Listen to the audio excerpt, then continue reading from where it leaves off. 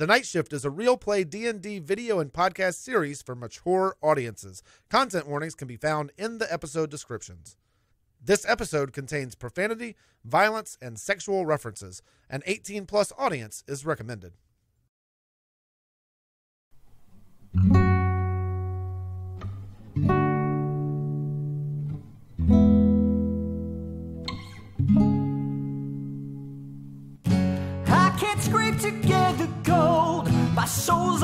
Sold. So if you're trapped under a spell, I wish you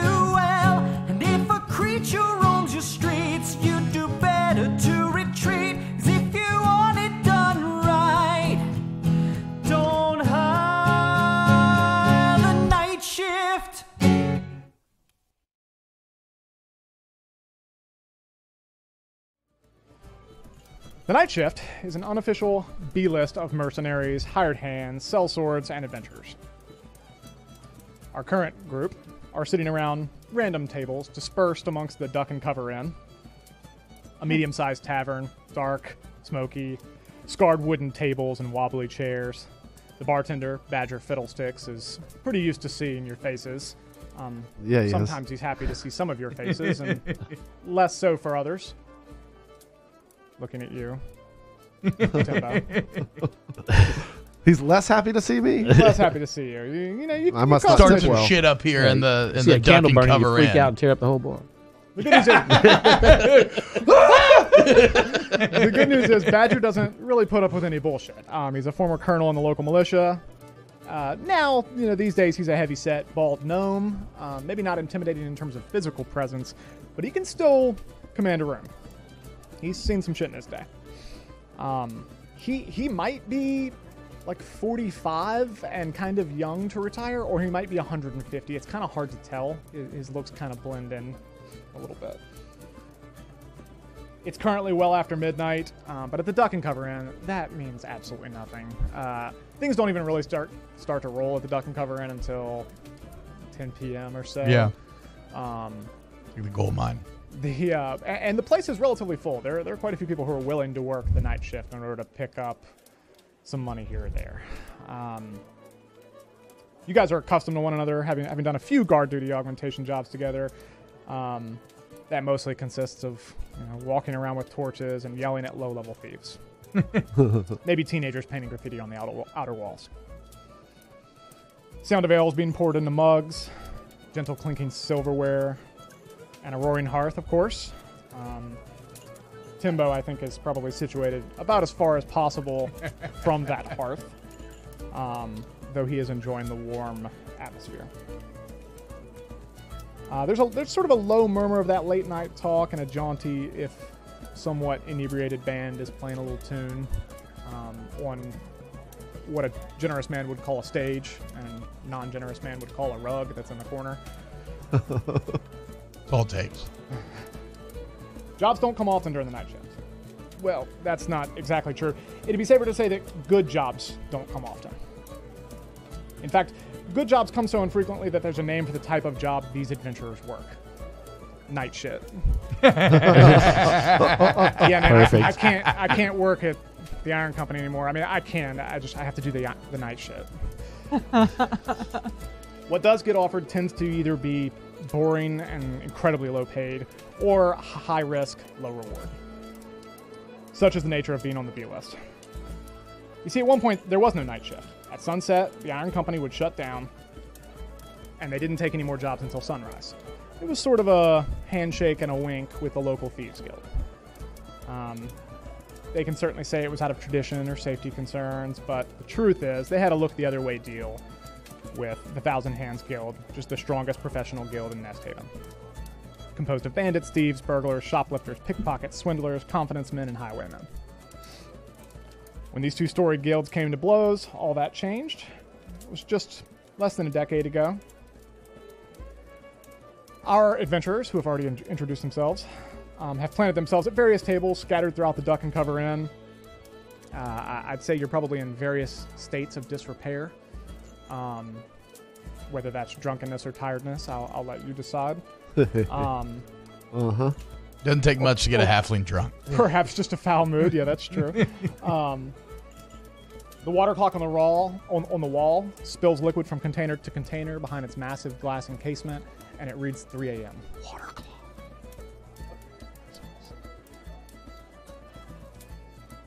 3 a.m. The We're tying one on, guys. The witching hour. yeah, it's the witching hour. There you go. Yeah. Um, it's at that moment that the large oaken doors swing open with kind of a heavy thud. This is not uncommon at the Duck and Cover Inn. That's typical of someone being drunk and looking for the next place to stagger into. Um, maybe the job comes in because their ho- their house just got robbed, what have you. But in this case, the person that emerges through the doorway is a little confusing. You all know him on sight. Davik Gorsman is a pretty famous noble in Nest Haven. His purple um, cape that drapes around his shoulders, um, his pockets that jingle. He's certainly overbur- overburdened with an abundance of coin. And immediately he introduces himself, even though everyone in the room knows clearly who he is. Hi, hi, how are you doing? Oh, it's such a good night, and you're really, you're really doing it in here, aren't you? Good, good, good. Having a night. That's great. Um, okay, so I, I have a job, actually, um, for those that are interested. Without even the slightest hesitation, numerous hands go up, and Davik sort of stumbles back a bit and, and holds his hand to his chest in, in feigned surprise. Um, his purple headband, keeping his reddish gray hair out of his eyes, sort of slips a bit and he readjusts it. Um, he sort of Asshole. grabs the, the heavy amulet necklace around his neck and oh dear, lots of lots of um of volunteers. Okay, um, I can only pay twenty gold pieces for the job. Now, only 20 gold pieces is not something that is said in the duck and cover just to be clear. It's a pretty hefty wage for the type of jobs that you typically do. You know right off the bat, we're not going to be doing guard duty. We're not going to be cleaning up graffiti. This is the sort of thing that is maybe not high risk, low reward, but high risk, medium reward. Um, and while most people have suspicions, your hand's already in the air, so decision's been made to some degree. Um, Davik Gorsman is the head of the Gorsman family. Um, his estate is well known in Nest Haven. It's it's outside of town, um, and it's known as the Purple Manse of South Coast. Large mansion. His family's colors are um, purple and black.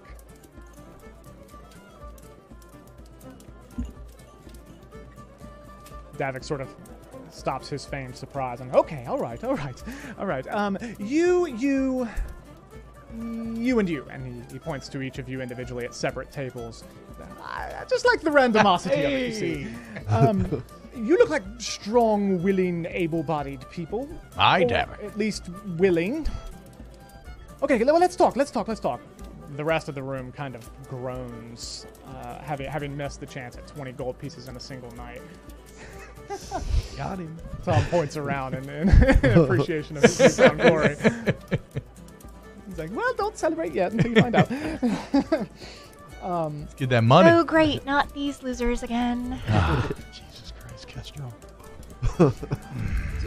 he ushers you over to a table, um, somewhat secluded. Um, Timbo, it's, it's a little closer to the fire, and I think your, your your shoulder blades are sort of hiking up, and, and you're probably squeezing those butt cheeks a bit, but but you're, you, you're able to overcome it. I think. There goes Timbo again. Um, Davik sort of has you sit down, and he, he turns to a to a, a waiter and has a couple drinks brought over, um, seemingly on him. He's all right. Sit, sit, please. Uh, let me tell you a little bit about what we have going on. Um, Twenty gold pieces per person, right? So that's that's quite a cash, yes. Um, but the deal is, I've got this um rabid orc or something, and he's in my woods, and my children and my wife are terrified. And when I say terrified, I mean annoying the shit out of me. so here's what I need I need him gone tonight so that I can go on this little vacation I have planned and they can stay and not, well, send me a bunch of letters and bother me all day. Makes Hi, mate. Shouldn't be a problem. I love smashing orcs. Is this at the Purple Manse? Yes, yes, it In would the be woods? right outside of. Oh, well, I've ju- always wanted to go there. I'm quite excited, Davik. When do we start? Yes, well, just to be clear, you Uh, cannot step foot in my house. Yeah, yes, I can't wait to see it. Okay, it's going to no- be great. Okay, what I said was, I feel like he's not quite picking it up. You'll keep him out of my house, yes? We will do Oh, the and- best Oh. we can. I have no control over these people. Oh, Wherever the right. orc goes, I'll go. I reckon. Unless the orc has fire. He does what he wants.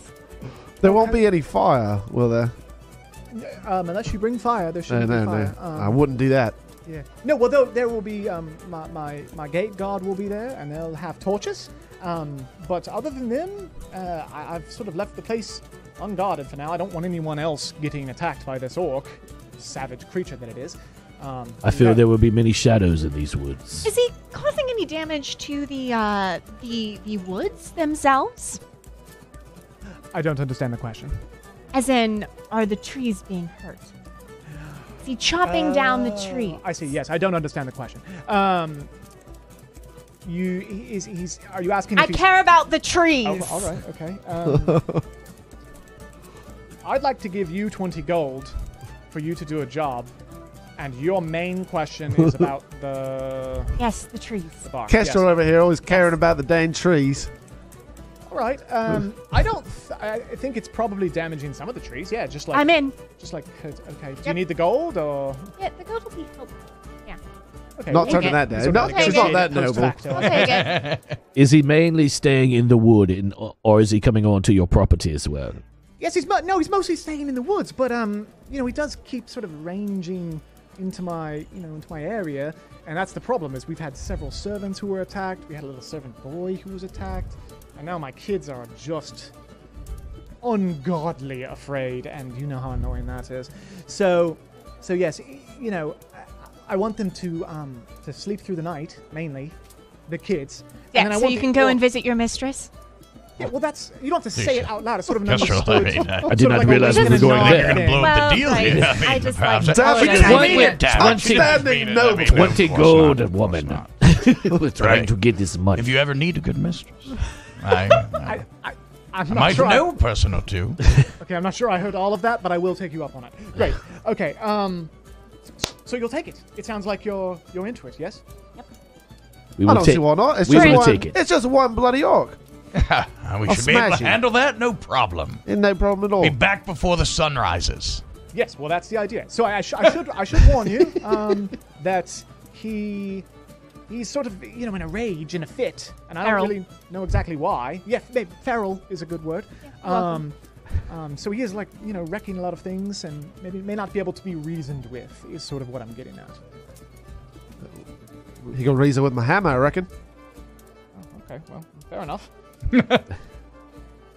Any questions for me? When do we start? Now, dude. Well, That's- what are we we waiting didn't say That- be before the I'm ready to get away from this fire. Let's go. All right. Uh, Do you have a carriage that can bring us to the Purple Manse? I have, I have to give you 20 gold and, a- and a carrot. Yeah, no, that's fine. Absolutely. I'll stay here at this inn, and you can ride in my fancy carriage. Oh, that I'm so sounds great. Sounds Yeah, I'm into it. Okay, I was sort of being sarcastic. Fine. Yeah, no, Let's go. fine. You take the carriage. I will not. Do you have here, XM radio in this carriage? Okay, um, I'll go instruct my man. You, you know, settle up. You, uh, obviously, the, the ales are on me. Um, What? I've sort of. Oh, I have time. another question, actually. This okay. might be important. Um, when did it start? These attacks. Did you do anything to piss him off, maybe? Oh, I don't know. Orcs are sort of, you know, fearsome creatures, I suppose. Um, no, I don't think I've done anything to enrage it. I mean, it's, it's an orc, so that's probably most of it.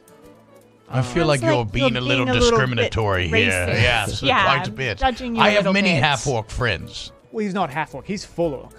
Well, I see what you mean. Yep, I heard it. I heard it right there in my head. I gotcha. Yep. In this case, um, it's not like a race thing. It's like an orc thing. Oh, that sounds. That, that's not near- worse. that's that makes it actually way worse.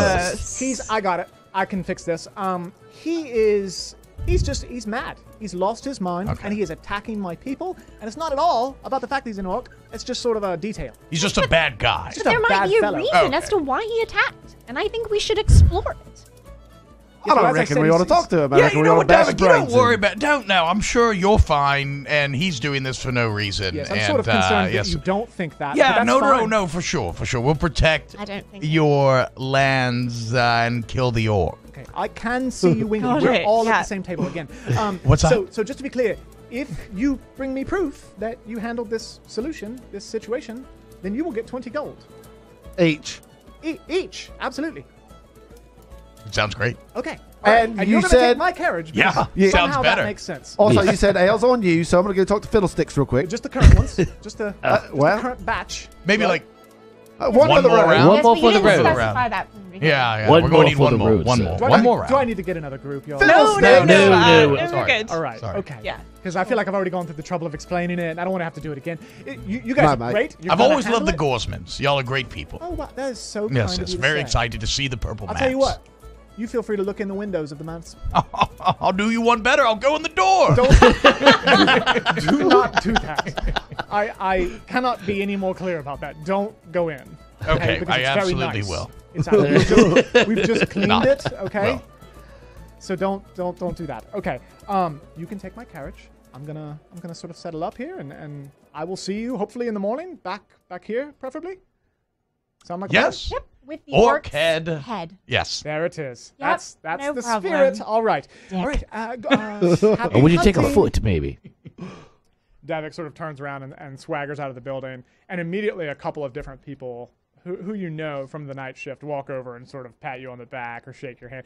Some of it is genuine congratulations, and some of it is like, "Hey man, if you hit that score, I'm looking for an ale, okay? Like I could use another another drink." So there's a little bit of that going on too. Most of it good natured. And now a word from our sponsors. You guys walk into the Duck and Cover Inn, uh, sa- same as you always do, uh, and the place is crowded. It's it's bustling. What do you do? I go right up to Badger and I say, "Hey, mate, I'll take a rally cap first pitch." Hey, uh, Timbo. How about uh, make make it two, please? Uh, I too would like a first pitch pale. What the hell is a rally cap? What is? What are you talking about? Well, if I put my hat on backwards, you'd see a rally cap. Look at that. Uh, no, rally cap first pitch. It's a hazy pale ale from Baton Rouge, Louisiana. Rally cap brewing. Why don't you pop that open, Kestrel? all right, all right, all right. oh, Music. that, That sounds was satisfying. Very satisfying. Music to my ears. Yeah, right. Pelican Craft Brands distributes this all over uh, South Louisiana. Anywhere that uh, Pelican Craft Brands are sold, you can find Rally Cap First Pitch Pale Ale. Attilius, one of your favorites, huh?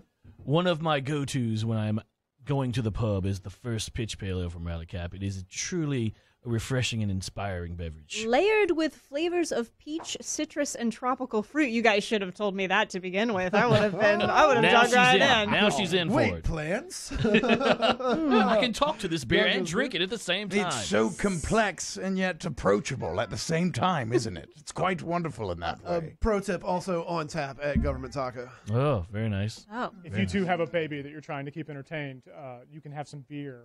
yes, yes, absolutely. Don't give the Can- beer to the baby. Can I we- don't I do think that, That's maybe. illegal. Can we I discuss? performed in this tavern many years ago. I had a few too many rally caps. I mean, next thing you know, I was going here to she ask. is. I was going to ask if we were going to discuss this child. he- that- This is a rally cap baby, if you will. That's a uh, nice little pacifier you got there. What is that? A, a noonie? A pacifier? What you got there? Uh, That is oh, a- that's a bottle of barbecue sauce. Perfect. Never let your wife see this ad. Rally cap. to rally cap. Cheers. So I'm assuming we make our way out to the carriage. yes. No time like the present. Let's just So- go. Let's go back this walk. Kestrel, Timbo, Attilius, right? Attilius. Attilius. Attilius, sir. Is I've- Attilius, mate? Nice to meet you, Tom Bombo. I know I've I've seen y'all around and Yes, Tom. well You're a good lad. worked a couple jobs with Kestrel before, but uh, it's good to see Haven't everyone we all? again. Yeah, just quick request. Can we uh, skip over any of the songs that you might be doing later? Okay, well that's kind of my entire thing. I So kind of I- like. singer, No? I, I kind I of think, I like think these you're going to songs. hear some songs. Well, while we're in the carriage, right, we might as well have, have a tune. A little music hurt never Um, hurts anyone. Good. I'm good. Let's to the carriage. yes, Oh. we, we journey outside the the tall wooden doors yeah, you swing open the I open wait by the fiddlesticks. Say I'll be back. He, sort of, he sort of tips the non-existent hat at you. Um, Later, Badger.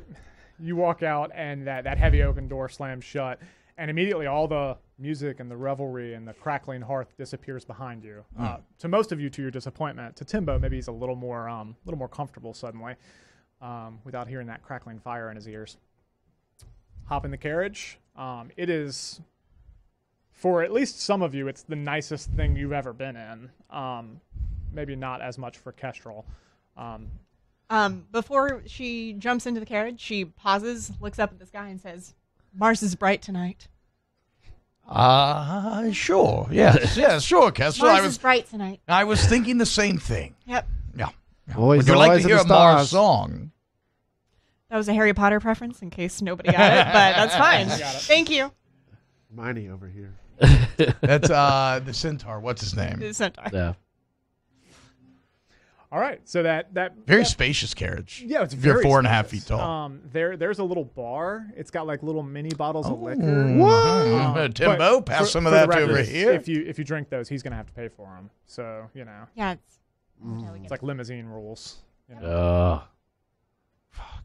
Yeah, but They always has get you with the it, right? but limousine. he has to pay for it. He said he could yeah, drink Davik it. has to pay Yeah, for it. absolutely. Yeah, okay, yeah, come on here, Yeah, go, we're Timbo. fine. Hand me, Oh, hand no, me, no, hand me a just- drink. just pass then. Hand around, me a pass drink. around. I reckon he can afford to spare us all another Yeah, drink. it's, it's, Yeah, well, let's it's not get it the drunk cost of before doing we go business. meet the well, orc. we're just having one drink. As And well. it's Calm just one down. orc. There's four of us. little courage, maybe. A little beverage When for the you face of wouldn't fearsome hurt. orc. Want to say no to a nice stiff whiskey? I can handle it. yes, maybe I should drink if I'm going to be working with all of you again. That's a girl. All right, so in, in pretty short order, I mean, it, it takes a little while on this carriage ride, um, but but the the manse is well situated outside of town. It is called the Purple Manse because there are It's purple. no great great guess. Do you want to do this part and I'll go sit down and be the character? Or Oh. just kidding. I like the guess. You just got Um, rebuked by God. No, it, it is a large stone mansion surrounded by acres and acres of lavender fields, which at night are a little harder to appreciate in their full beauty. Um, but but it's called the Purple Manse because it is constantly um, surrounded in this sort of purple flowery substance. Now that that is mostly how the Gorsmans have made their money is by packaging and selling lavender and its various products that come. Wow.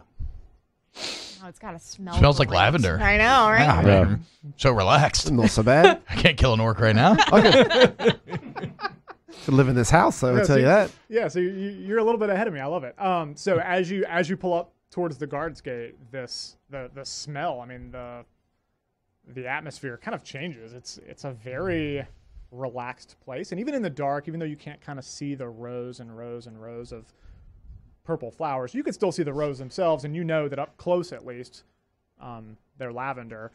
And yeah, maybe you- maybe you feel a little more relaxed. You know, I think I think there's probably something Yeah. to that. Um, not only that, but this carriage ride, you know, 30 minutes of just sort of swaying back and forth. Drinking, chilling. Um, if if Tom Tom's music playing, if that is something that does uh, lead you to be relaxed, for some of us, certainly maybe. you're feeling it.